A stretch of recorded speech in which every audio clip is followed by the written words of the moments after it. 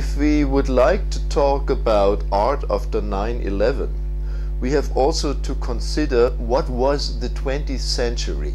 So the younger of you might have forgotten totally what that was. So the 20th century is a very complicated, a very extreme century, as the historian Eric Hobsbawm said. In my view, there are three essential thresholds in this century which changed the world and the art before and after significantly. The first one is the end of the First World War in 1918.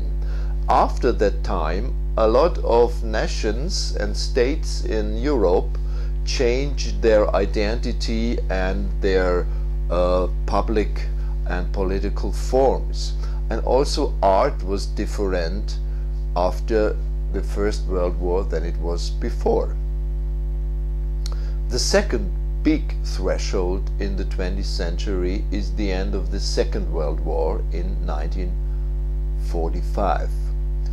After that period, the world again changed significantly we faced the Cold War, the division of Germany in East Germany and West Germany, and we faced a very heavy military confrontation between Russia and the United States. The third and last important threshold in the 20th century is the year 1989 with the fall of the Berlin Wall.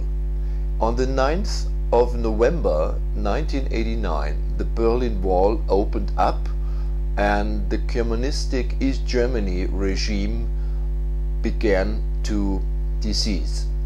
So this led to the reunification of Germany and after that period we lost communism. So communism was totally out of trend and this led to the victory of capitalism. So after the fall of the Berlin Wall, we can observe the globalization of capital.